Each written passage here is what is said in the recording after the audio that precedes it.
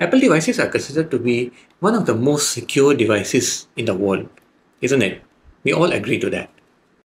Now, there are a lot of security settings inside the iOS, but most of us, we don't know where are those settings. Because firstly, those settings are not selected by default. We need to manually go and select them. And the second thing is, some of the settings are deeply embedded inside the menus and submenus. So it's very difficult to find them. Now, iOS also has one security loophole, which I will explain later in my video. Just imagine your iPhone gets stolen or misplaced, or someone has an unauthorized access to your lock screen passcode. Now your data and also your Apple ID is at risk. So in this video, I am going to explain two scenarios which actually are very common and it can happen to any iPhone user in the world. And also I will show and explain different settings, how to protect your data and also your account in both of these scenarios. At the end of the video, I will also show a new security feature which Apple is currently working on but has not yet released to the public.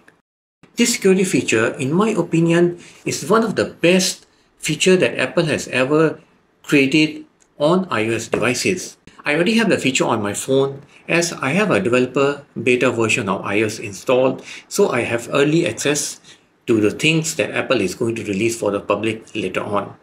So stay tuned till end of the video. Hello, I'm Shawn and welcome to my channel. In this scenario, the phone is lost or stolen and the thief gets hold of your phone but he doesn't know your passcode. Means the phone is still locked. Now the thief knows that the first thing that you will do is to try to call your phone and try to locate it using the Find My. So he immediately turns on the airplane mode on your phone by simply swiping down and pressing this airplane button. Now once the phone is in airplane mode, it cannot be located using the Find My. In order to prevent the thief from doing this, you need to change a simple setting in your phone. This is how you do it. You unlock your phone, settings, go to Face ID and passcode, enter your passcode, scroll down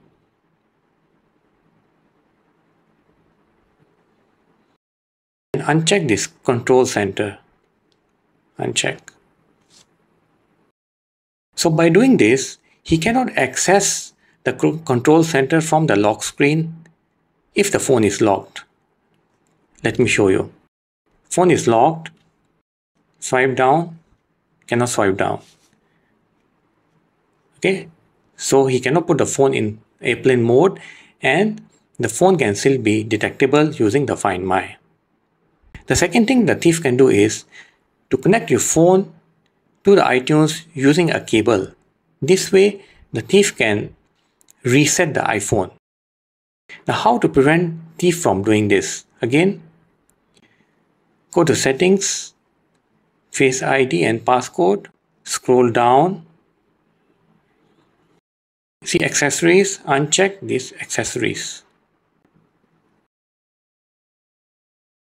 If the thief tries to plug in the cable and tries to connect with the laptop to the iTunes, the phone will be undetectable. So he cannot do this. Here's a small catch.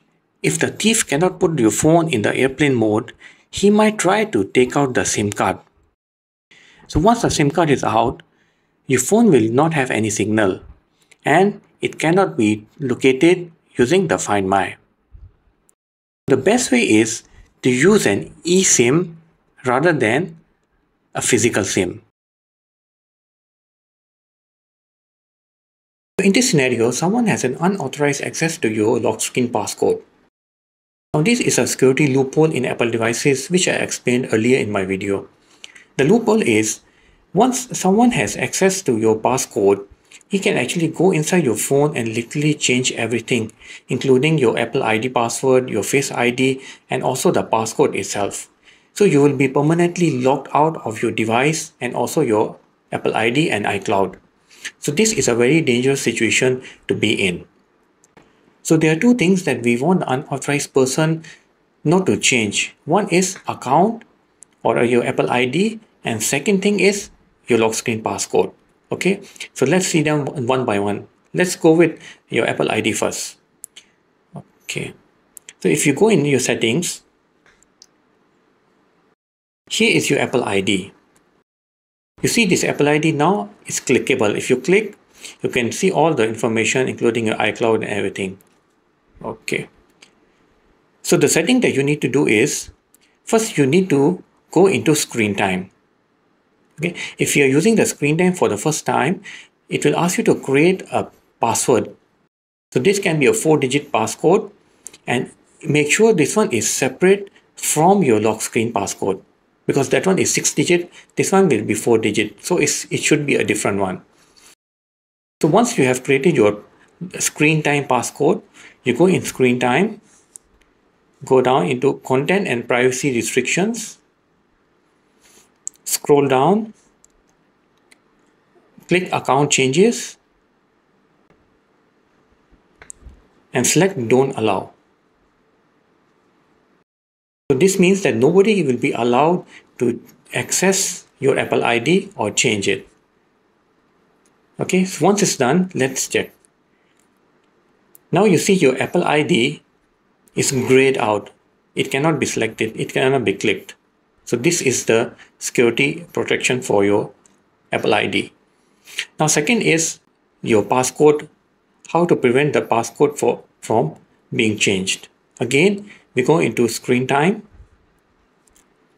content and privacy restrictions,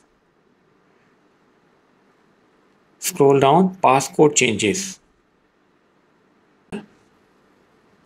and don't allow. So basically with this setting now, nobody can change your lock screen passcode except you. Why? Because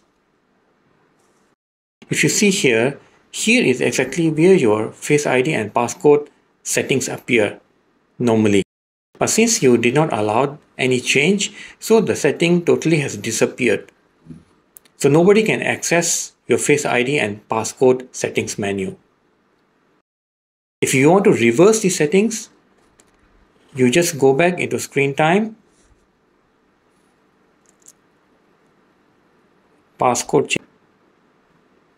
Uh, okay. Now if you allow back passcode change. You see the face id and passcode has reappeared. Okay? So this is a very important security feature. If you don't allow this setting will disappear. So nobody will have access nobody can actually find where to change your face id or passcode. Where is the setting? They, they will kind of find. It's it will be hidden. So this is a very good uh, security feature by Apple.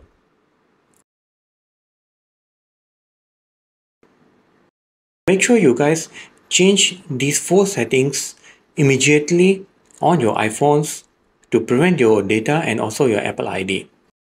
Now moving on to the new security feature which I explained earlier in the video the Apple is working on and is almost ready for the public but not, not yet released.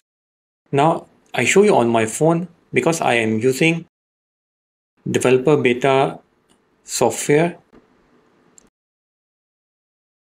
iOS 17.3 now current iOS is 17.2.1 because I am on developer beta version so I get to get these features earlier and test and report back to Apple if there any bugs or uh, any problems with the new features so now to access this new feature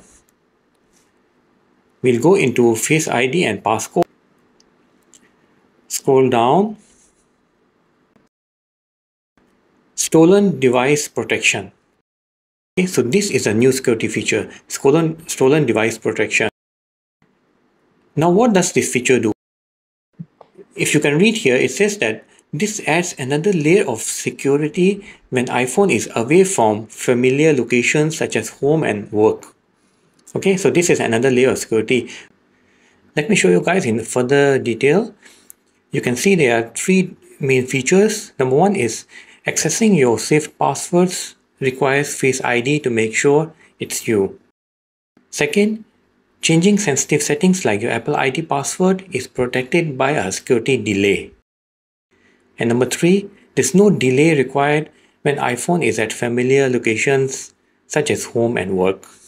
So this adds another layer of security for your Apple device.